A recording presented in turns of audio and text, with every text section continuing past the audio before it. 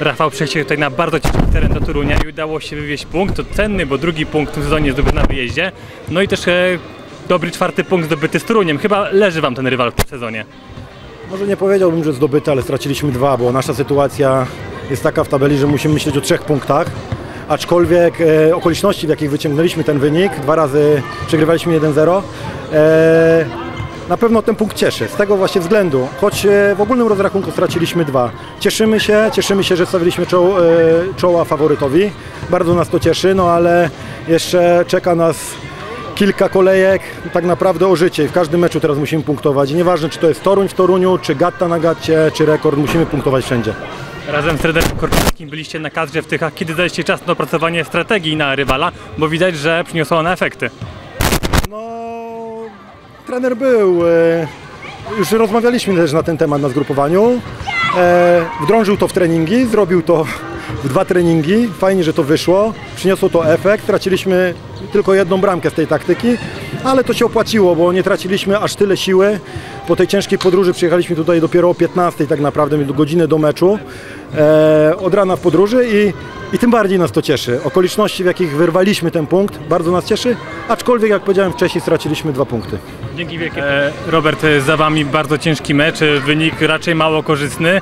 Dobra jak Morozowo, ale kiepska skuteczność całego zespołu.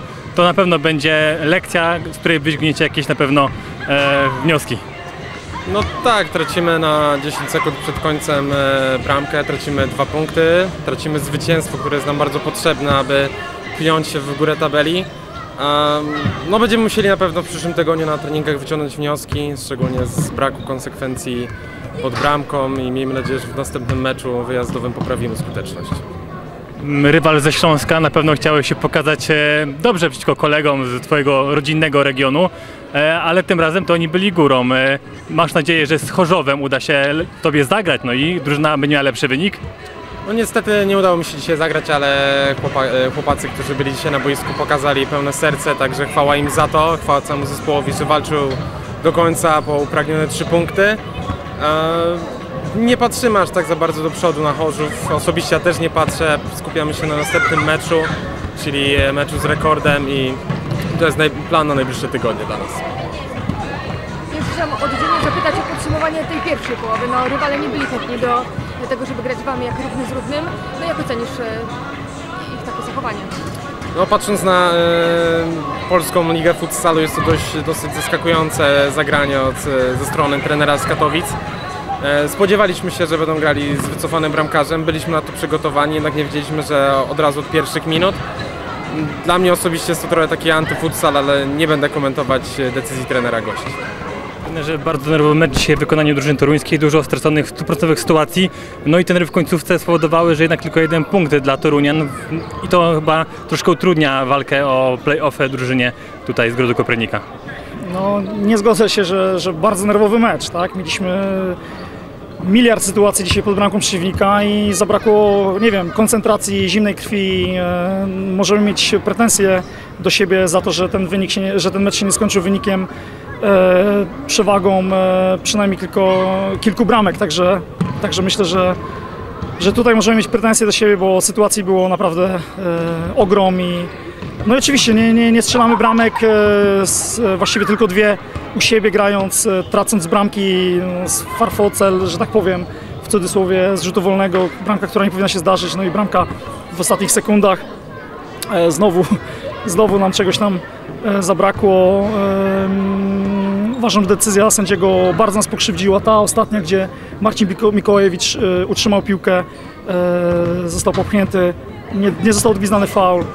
E, Piłkę otrzymali goście. Okej. Trener Korczyński chciał zaskoczyć tą taktyką z wycofanym bramką w początku meczu.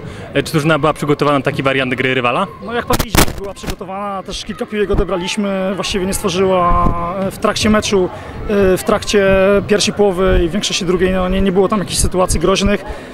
Kilka piłek odzyskaliśmy, też zabrakło gdzieś tam e, zimnej krwi i, i no co, no Katowice tak zagrały, podejrzewam, że, że też ciężka podróż, e, fizycznie wiedzieli, że też będą odstawać tutaj, także Także ta taktyka im się dzisiaj e, sprawdziła. Szczęśliwy remis, no ale, no ale dla nas jest jak porażka dzisiaj. Trenerze, dzisiaj udało się napsuć krwi trenerowi Hirszowi i odebrać mu punkty na własnym parkiecie. Dobra chyba taktyka, jeśli chodzi o grę z wytwornym bramkarza od samego początku, to przyniosło wymierny efekt na koniec meczu. No na pewno gdzieś e, jakby takiego bezpośredniego efektu nie przyniosło przez większą część meczu do tej końcówki, ale na pewno zmęczyło też rywala trochę. Musimy sobie też powiedzieć szczerze, że, że Toruń miał dzisiaj klarowne sytuacje do tego, żeby wygrać ten mecz i, i, i tak naprawdę ten remis jest e, taki może nie dość szczęśliwy, ale no bo, no bo tak jest. Tydzień temu też czuliśmy, że powinniśmy wygrać i nie wygraliśmy. Dzisiaj e, los gdzieś tam nam oddał jakiś jeden punkcik. Może nie jest to szczyt marzeń w naszej sytuacji e, w tabeli, ale, ale zawsze to jest punkt, zawsze to jest punkt na wyjeździe, na trudnym terenie, gdzie, gdzie Torun jest niepokonany, więc, więc na pewno się cieszymy z tego punktu.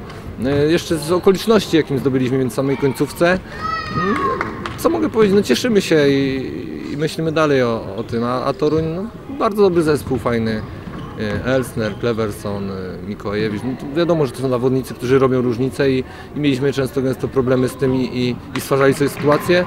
No ale cóż, takie, takie jest życie, taki jest sport. Mamy punkt y, na ciężkim terenie i myślimy o następnym meczu, który się odbywa na Rudzie Śląskiej i też tam musimy, musimy wygrać mecz. Może tak woli podsumowania, no liga niezwykle zacięta. W zasadzie zeszła kolejka pokazała, że w każdym meczu e, można zremisować i w tym meczu pokazuje ponownie, że o trzy punkty jest niezwykle ciężko w, ty, w tegorocznych rozgrywkach. No na pewno. No, myślę, że powody, powodów jest wiele, ale jeden z powodów to jest takie rozłożenie się zawodników równomierne w miarę po klubach. Yy, I, i to powoduje, że ta liga, ta liga jest równa.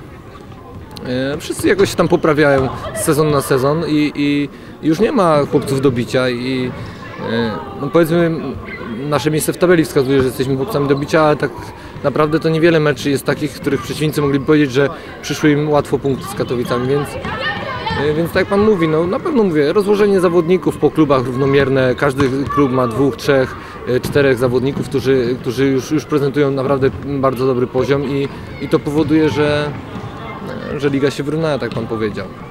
No i teraz tak patrząc na lidera tureńskiego zespołu Marcina Mikołajewicza po dzisiejszym meczu, e, czy on był aż tak bardzo zmęczony po kadrze, że dzisiaj no, niestety skutecznością nie grzeszył w tym spotkaniu? Wie Pan co, czy był zmęczony? Nie, Marcin w zasadzie na, na zgrupowaniu niewiele trenował, żeby nie powiedzieć prawie w ogóle. Statycznie gdzieś tam przy stałych fragmentach e, wiadomo, że ma problem z, z, z bądź to z, z przepukliną, bądź przywodzeniem, nie wiadomo co tam tak naprawdę nie do końca jest to zdiagnozowane. Więc, więc Marcin y, 90% zgrupowania, że tak powiem, e, odpoczywał i, i, i nie, nie, nie sądzę, żeby to miało jakiś wpływ. E,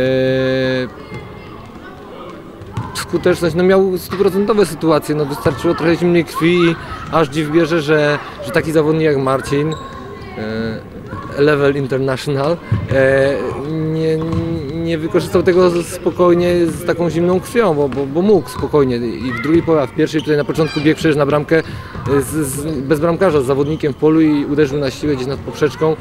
E, Niektórzy mówią, że wypoczęta noga jest trochę inna od zmęczonej, ale mówię, Marcin, y, i to mówię z całą powagą i odpowiedzialnością tego, co mówię, nie brał czynnego udziału w większości zajęć, że tak powiem, gier. Y, To raczej było, mówię, na 50% statycznie gdzieś. Zawsze było pytanie, czy, czy się czuje, czy chce i raczej, że tak powiem, on się boi o to, o to co tam mu się dzieje.